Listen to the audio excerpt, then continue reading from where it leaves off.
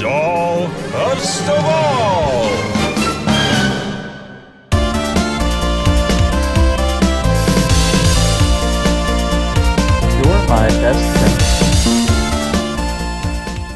Was at JCPenney the other day because I'm working on an upcoming video where I hunt around in my area at different department stores to see what the oldest fashionista I can find in store for retail prices. Here's a tip for you all. If you're looking for any of these older fashionistas, stores like Kohl's and Macy's and JCPenney, a lot of their stock is old because they're a lot more expensive than Walmart or Target was so they can't sell through their stuff as quickly.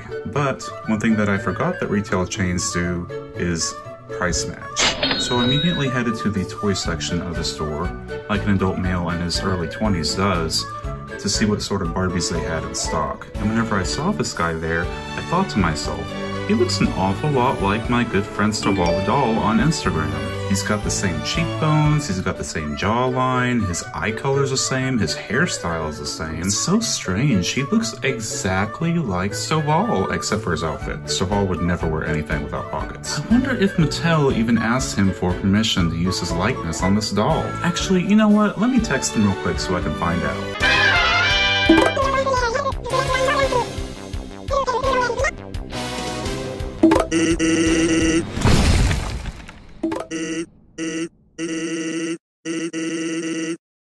Another lawsuit coming on. Mattel just can't stay out of the courtroom, can they? Well, regardless, I'm happy to have my own copy of Stovall, even if it isn't as good as a real thing.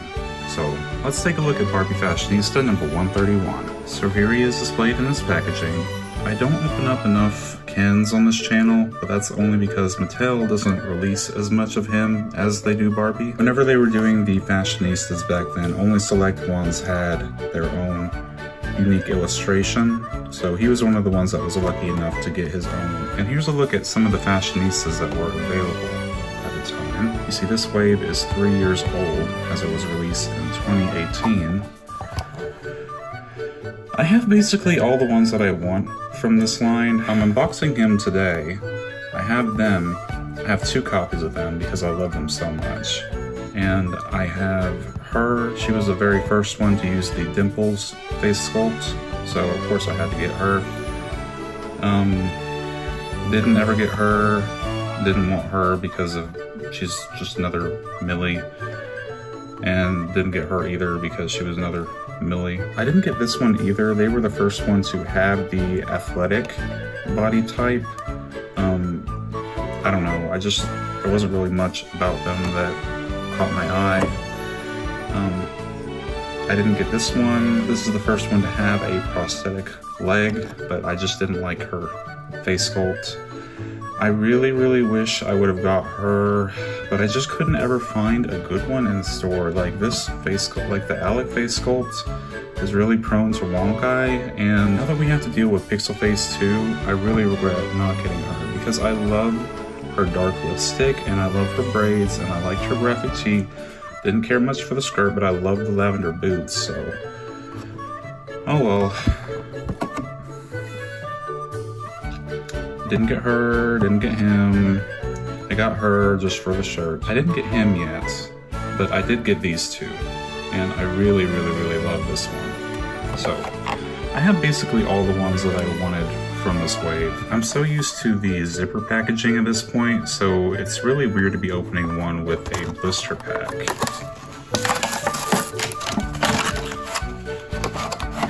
Wow, he's got no ties holding him down. So here's a look at the official Stovall the Doll doll. Since Mattel doesn't want to give their newer face sculpts proper names, I think that we should petition to have this one officially called Stovall. This head mold is dated 2018, and that means it was brand spanking new whenever this wave of fashionistas came out. So he was the very, very first doll to use this face sculpt. I wanted to get him whenever he was new at Walmart, but somebody in my area was buying up all the ones that were available in my area. I wonder who that was. I'm just kidding. I didn't pick him up because at the time I wasn't making as much money as I am now, and I had to be a lot more picky about which dolls I bought for myself. This face just wonk eye. The eyes were all over the place. But it's a really handsome face sculpt. I love his pouty lips. I love his nose shape. I love his like faded eyebrows. I like how thick they are. I like his like swept back hair. I like the fade. I wish they took this head sculpt because 3D technology, I know it's possible, and make like different hair versions of it, like with a coif or like with a faux hawk or something. I think he'd look really nice with a beard. Mattel has yet to give us a male fashionista with facial hair, and I think that's a real shame because, for one, facial hair can add a lot of variety because you could have a mustache, you could have a full beard, you could have just like, um, like you know how some men have just the beard around the bottom part of their face and not a mustache. I don't know what that's called. You could have a goatee. Um, it could add a lot more variation in the male fashionistas and it would just be a little bit more paint on the face. And for me personally, I'm just really attracted to men that have facial hair. That's why I have a beard myself. As for his outfit, he has this short sleeve hoodie that velcros in the back. It's yellow with uh, New York written on the front of it. Well, it's like a printed decal. Um, it's a really cool piece, and, and the hood fits over his head really nice. looks really cute on him. Um, I'll probably redress him, but I really, really like the hoodie. I like how it actually has a cuff around the bottom, and I really like his shorts too. Gray is my favorite color. I mean, this outfit is just really, really balanced to me. Like, he's mostly neutral, but he's just got this bright pop of yellow for his hoodie.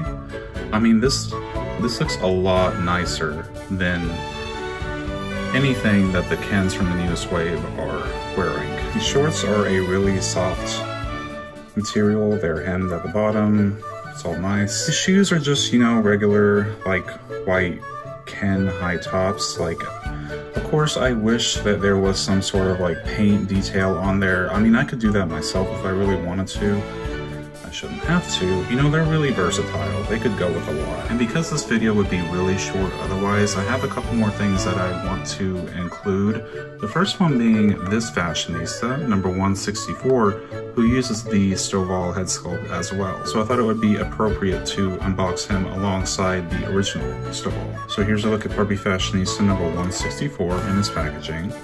You can see his unique illustration on the bottom. And for some reason, Mattel isn't putting the quotes on the bottom of the Ken dolls like they are with Barbie. Not sure why that is.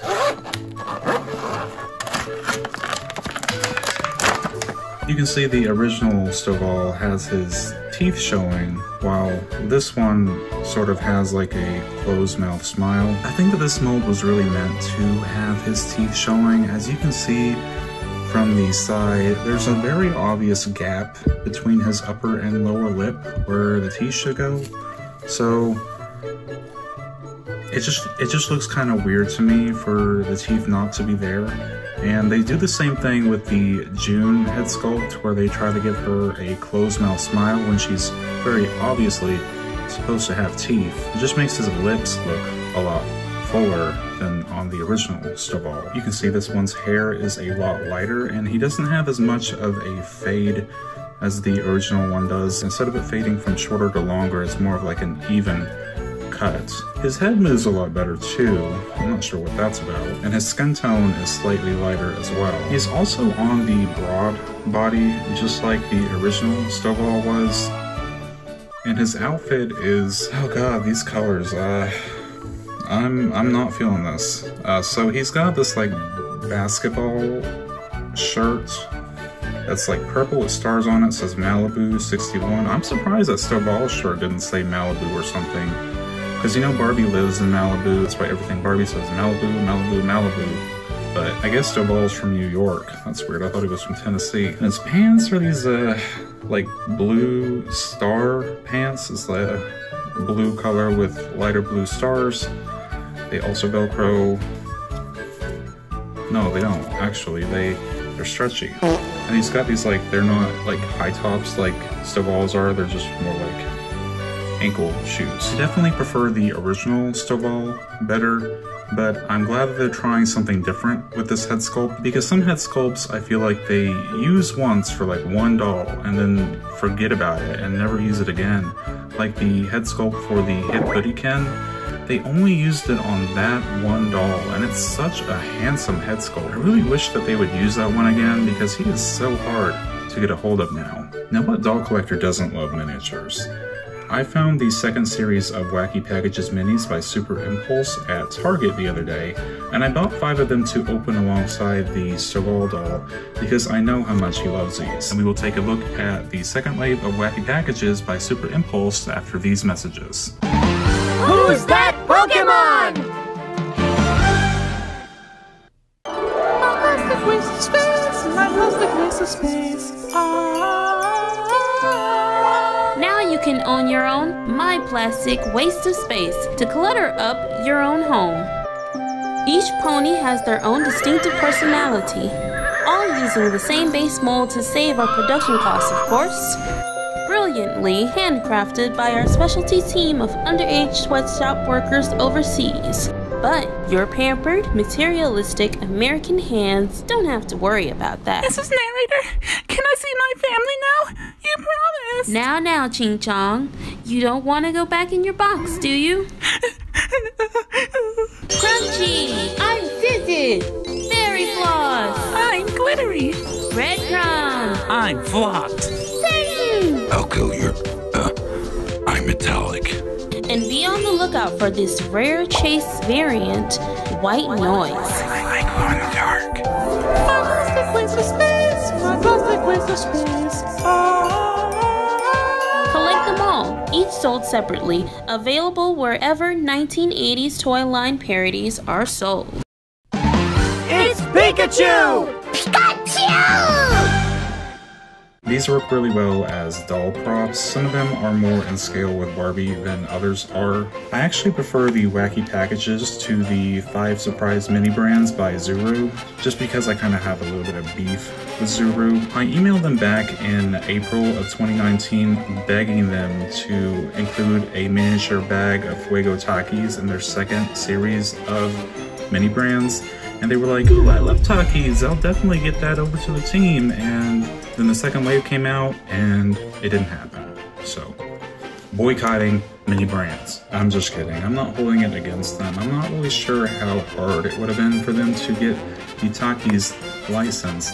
I just really wanted a mini bag of Takis, man. I also really enjoy the crude humor of these. It definitely reminds me of like in a cartoon whenever you see like a brand in the background that's meant to be a parody of something in real life. That's kind of how I look at it. Like in my doll world, Kit Kats might actually be called Zip Cats. I don't know anybody who would buy Zip Cats, but I made sure to pick out the ones that I really like the miniature on the top of the packaging. I like that you can at least see one of what you're getting so that I at least know that I'm getting one that I like. That first one is a parody of the Chips Ahoy cookies called Chimps Ahoy. Chimps Ahoy, cookies for chimpanzees. This one's more cute than crude. It's a big pack of cookies. Here's where the crude stuff begins.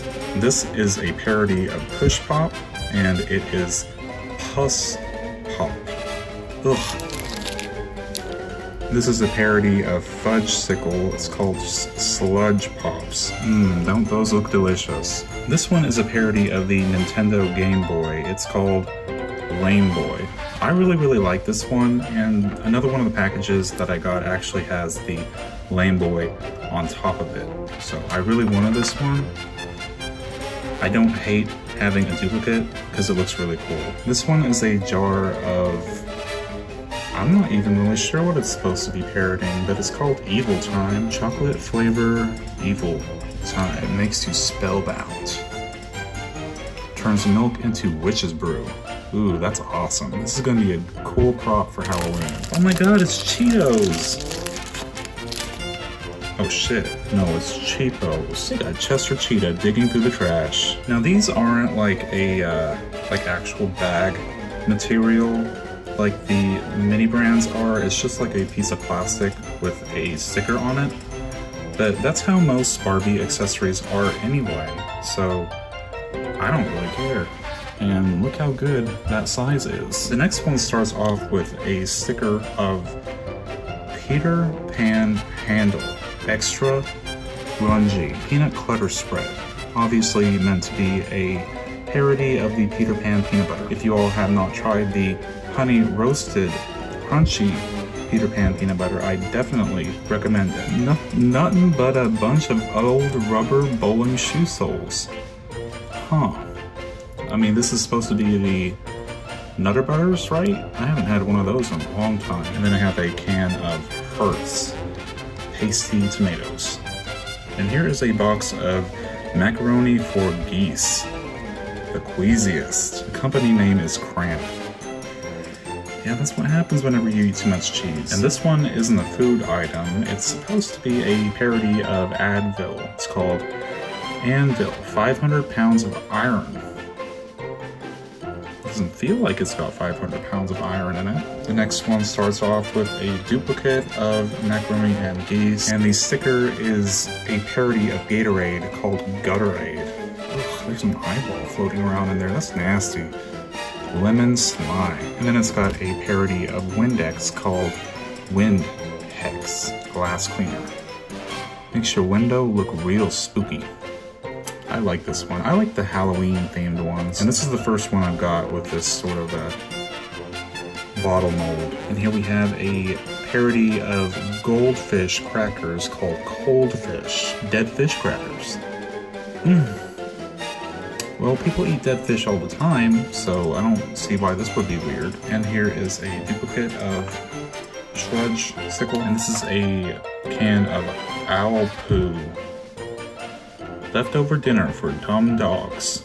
Aw, don't call them dumb.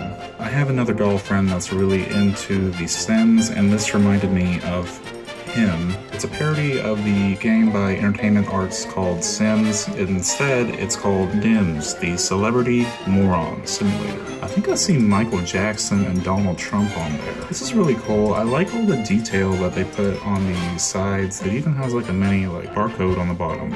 Oh jeez. Now we have a bag of free toes. Free toes in every package of corn chips. Free toes. Ugh. Here's another non-food item. It is a bottle of toothpaste called Aqua Flush. Here's another Halloween themed one. This one is called Fright Castle Ghoul Burgers. I really like White Castle. I haven't been there in a long time, but the last time I went, which was like three years ago, they had mini veggie burgers, so I really appreciate that they had a vegetarian option before it got popularized with Beyond Meat. This one is awesome. I love this one. It's a it's a parody of the um, Wonder Bread, but instead of Wonder Bread, it's called Blunder Extra Heavy Bread. Build your body just by lifting package. So I guess it's supposed to be like uh, heavy. I definitely like the shape and the sculpted detail on here. The next package starts off with a parody of Cheerios Instead of Cheerios, it's called Cheepios. Lots of holes in every package. Try it with strawberries, or you'll still be hungry. Fortified with iron, so kiss your teeth goodbye. Here is the last sticker. This is a another parody of Cheerios, but instead of Cheepios, it's called Gearios can see there's a bunch of gears in there, and there is a man willingly eating the bowl of gears and fucking up his teeth in the process. I love this one. This is a parody of the Trix cereal, but instead of Trix, it's Hicks. You can see there's a bunch of Hicks in the bowl instead of the cereal. This is a really cool prop. I love the cereal ones. And here is a box of Snots instead of the Dots candy it is snots, so it's just a bunch of boogers. Nasty. And here is a parody of Fruit Gushers. Instead, it is Foot Gushers. So it's got a guy with a bunch of like pimples on his foot, and they're like gushing out gummy worms. Ugh, nasty.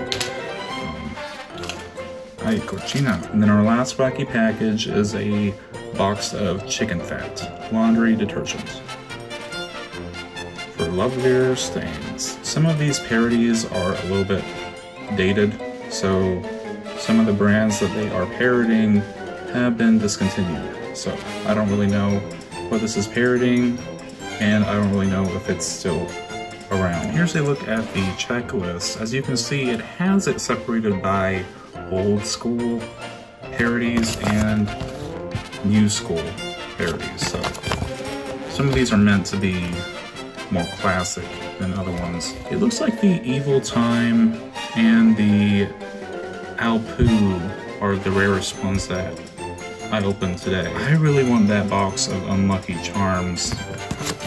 Oh, and I really, really want the box of Frosted Snakes and the Slacker Jacks and the Claude-like. Oh my god, I love Klondike bars. they got a copy of Grand Theft Auto Vice City or Grand Theft Audio Vice City. Grand Theft Auto Vice City was one of my favorite video games growing up and it's probably part of the reason why I'm so bad at driving, and it's probably why I'm so fucked up in the head that I played Grand Theft Auto at such a young age, but man, I'm gonna have to make another trip to Target. There is a lot of these that I still want to get. I also really want these uh, animal crackers because I loved animal crackers as a kid. I mean, they're just really little plastic boxes with stickers over them, but they, like I said, they make really good doll props. So I feel like we're probably going to be the people to be buying